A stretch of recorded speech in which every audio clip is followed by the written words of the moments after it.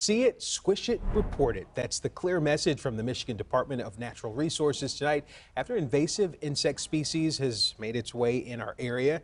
As Rochelle Graham explains, the DNR says it's doing everything it can to get the word out.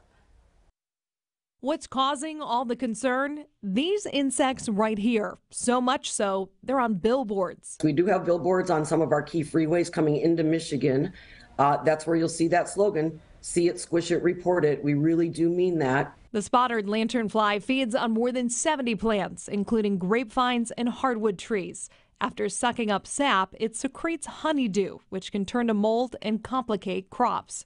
That honeydew also attracts flies, ants, and likely your least favorite, wasps. If you want to be outdoors and we are under an invasion of spotted lanternfly, you may find it hard to enjoy yourself. The specifics on what to look for, they're similar to some moths, an inch long and gray to brown with black spots when the wings are closed. If you see it with open wings, you're going to see that underwing color, which can include red, with black spots as well as some white and black. It's really showy when its wings are open. Some good news they don't fly far. The DNR just asks you make sure they don't hitchhike. We're most concerned that spotted lanternfly will arrive not because it can fly here on its own, but because it's going to hop on your vehicles or anything you've had outdoors. So if you've been out in other eastern states where there are infestations, check really carefully. Rochelle Graham, CBS News, Detroit.